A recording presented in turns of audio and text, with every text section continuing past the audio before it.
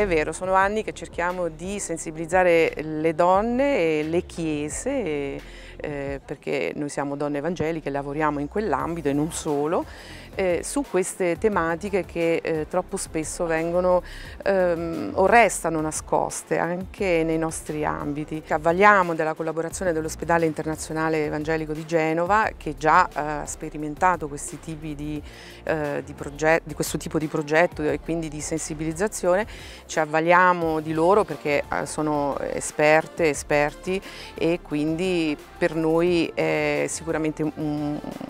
un passo un pochino più facile, un percorso un pochino più facile. L'ospedale evangelico internazionale di Genova è da anni impegnato eh, a favore delle donne a eh, contrastare il fenomeno della violenza che è così diffuso e che purtroppo ogni anno registra numeri sempre maggiori di donne non solo vittime di violenza fisica ma anche di violenza psicologica. Questa collaborazione eh, rientra nell'impegno che da anni l'ospedale eh, porta avanti per le donne eh, vittime di violenza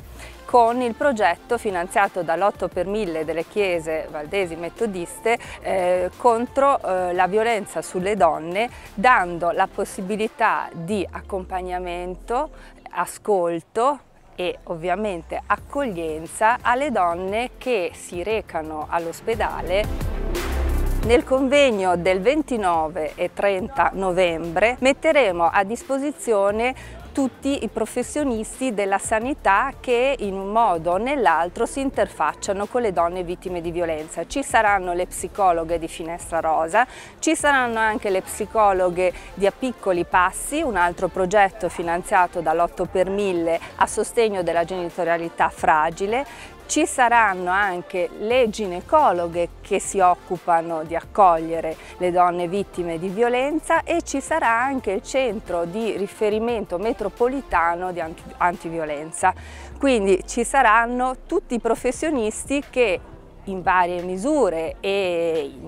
con tempistiche diverse aiutano le donne ad aprirsi e, e poi a, a cominciare la loro strada verso la salvezza. È un convegno aperto a tutte e anche a tutti, quindi mm, ci auguriamo che ci sia anche una buona partecipazione perché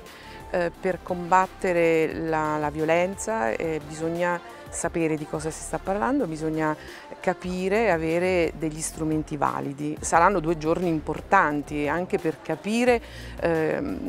cosa è stato fatto e cosa c'è da fare, cosa si può fare ancora.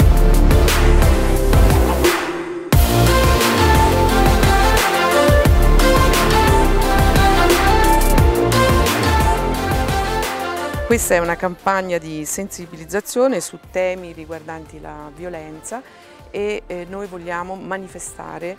eh, dimostrare tutto il nostro disappunto anche con eh, l'abbigliamento, un abbigliamento in nero eh, tutti i giovedì e eh, ovviamente eh,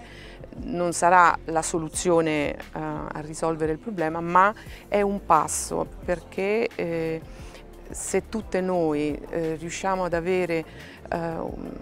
ad essere sensibili su questo tema e anche a dimostrare, a mostrare agli altri eh,